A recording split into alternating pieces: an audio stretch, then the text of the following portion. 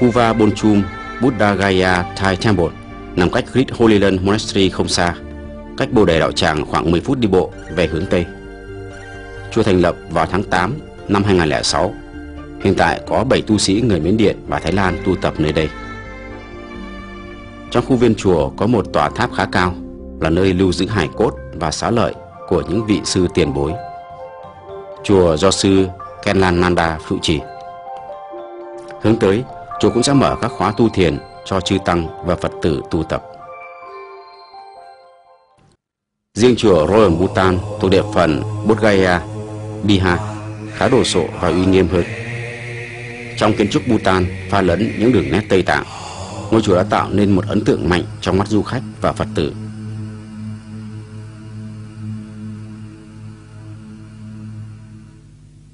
Thành lập vào năm 1983, ngôi chùa vẫn giữ được dáng dấp mới mẻ và độc đáo của mình. Những họa tiết, hoa văn, tinh tế và nhiều sắc màu cùng tồn tại song hành trong ngôi chánh điện này đã toát lên phong thái trang nghiêm, trầm hùng và thanh tịnh. Chính giữa là tượng Đức Phật Thích Ca Mâu Ni. Hai bên trái phải là tượng của Bồ Tát Quan Thế Âm và Di Lặc. Những bức phù điêu nổi được chạm trổ trên các tường vách xung quanh là những mô tả sống động, tái hiện toàn bộ cuộc đời của Đức Phật. Khuôn viên chùa rộng thoáng với nhiều bãi cỏ và cây xanh. Từ ngoài cổng chính đi vào, phía trái là tăng phòng, phía phải là một tòa tháp. Chùa này theo truyền thống Đại Thừa, tùng kinh 38 pháp hạnh phúc, thi thoảng có tụng pháp hoa. Khách vãng lai thường xuyên đến đây thắp hương, tham quan và lễ bái.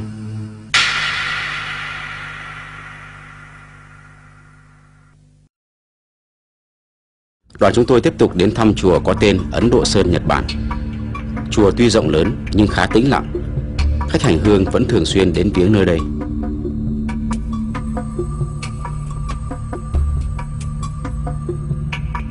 Đây là những tòa tháp trong chùa, nơi lưu giữ hài cốt của các bậc tiền bối. Và đây là một tháp chuông. Gần bên tháp chuông có một tháp tròn màu trắng, phía trên có đẻ ba chữ không hoa tháp. Chùa có khuôn viên rất rộng, nhiều bãi cỏ và cây xanh. Trong chùa có trồng ba cây bồ đề to, tán luôn dở mát. Trong chùa có một trường học nơi đào tạo miễn phí cho các em học sinh gia đình nghèo, người Ấn xung quanh vùng. Chùa thành lập vào năm 1973 bởi ngài Ishiyu Iwaya và hiện tại sư Bokudo Negoro là người kế vị.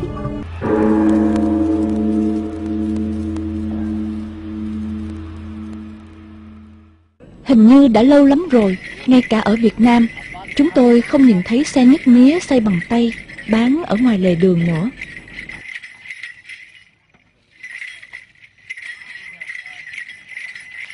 Quả thực, trong buổi trưa nắng nóng, bàn chân đã mệt nhoài qua khắp các ngôi chùa, thì một ly nước mía vàng ươm sẽ làm hài lòng bất cứ ai. Chẳng biết đây có phải là hai ông cháu hay không? Nếu không thì đứa bé này phải đi làm thuê quá sớm.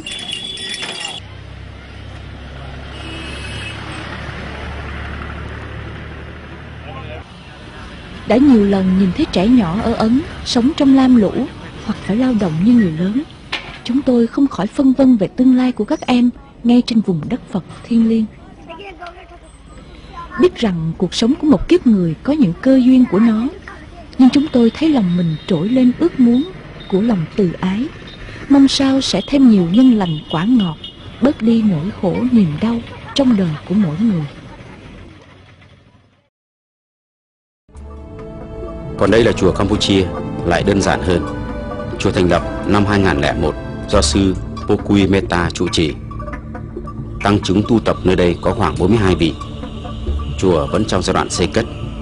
Khi hoàn thành, trong định hướng tương lai, chùa mở các khóa tu cho Phật tử tu tập. Đây là tượng Đại Phật của Nhật Bản, tượng cao 64 feet, đài sen cao 6 feet và bệ ngồi cao 10 feet. Tượng này do ông Thaku và những người con trai của ông hiến cúng. Trong một diện tích đất khá vuông vức và rộng, tượng Đại Phật sừng sững và oai nghi trong tư thế kiết già. Nhìn từ xa người ta vẫn có thể thấy rõ Người Nhật đã rất khéo léo xây đúc tượng này Trong một quần thể các chùa tượng xung quanh thánh tích Bồ Đề Đạo Tràng Tượng Đại Phật chiếm một vị trí nổi bật Đây là một nghi thức tôn giáo của người dân Ấn Người ta ghi tên họ và những mong muốn của mình vào một bể cát trước tượng Đại Phật để cầu mong những điều may mắn tốt lành.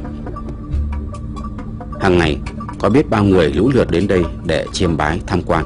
Xong, ẩn tàng đâu đó trong tín ngưỡng tâm linh thiêng liêng và cao quý của mình, người ta vẫn mong mỏi Đức Phật trở che và gia hộ. Hai bên tượng Đại Phật có 10 tôn tượng của 10 vị đệ tử lớn của Phật.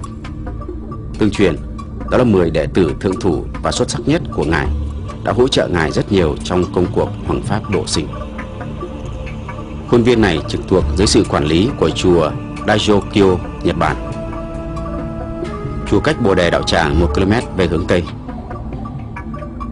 Chùa khá rộng và tĩnh lặng, thành lập vào năm 1981. Chùa có mở một trường dạy nghề cho dân nghèo địa phương. Mọi tổ chức Phật sự đều diễn tiến vào mùa đông. Còn mùa hè, do thời tiết khắc nghiệt, chùa thường đóng cửa. Hiện tại tạm thời chưa có chư tăng, nên mọi công việc điều hành chung đều do Phật tử đảm nhiệm. Ngày đã đổ về chiều tại Bồ Đề Đạo Tràng. Các khu tự viện đã đóng cửa. Hầu hết mọi sinh hoạt còn lại của dân cư và khách vãng lai đều dồn về dãy phố trung tâm, nơi có các cửa tiệm Internet, điện thoại quốc tế, quán ăn và cửa hiệu.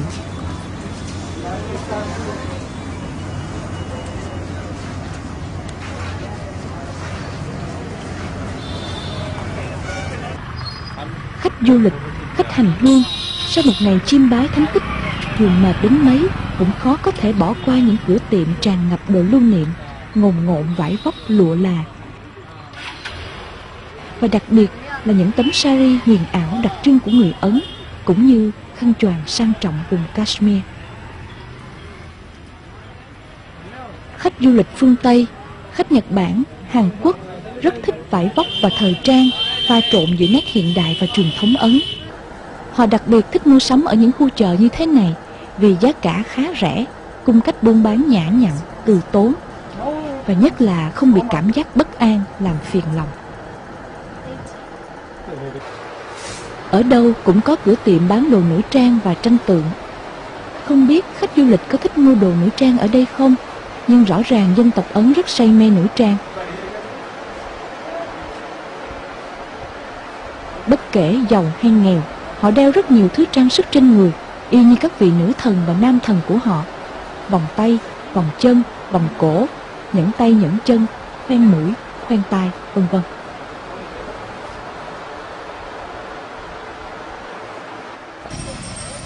Màn đêm buông xuống rất nhanh ở bồ đề đạo tràng. Chỉ còn một vài chiếc xe đẩy bán bánh chiên và các loại đậu bên chiếc đèn dầu ở một góc phố. Chúng tôi dừng lại bên một hàng bán đậu phồng rang Món quà vặt dân dã, ngon và rẻ. Họ không đông trong lon để bán Mà dùng cân khá chính xác. Họ để nguyên vỏ và rang trong chảo cát và muối Nên hạt đậu chín đều rất thơm. Người buôn bán nhỏ ở Ấn thường có cái nét buôn bán rất dễ thương, rất hiền. Điều đó hiện ra trong đáy mắt của họ, khiến khách phương xa chẳng khỏi nao lòng.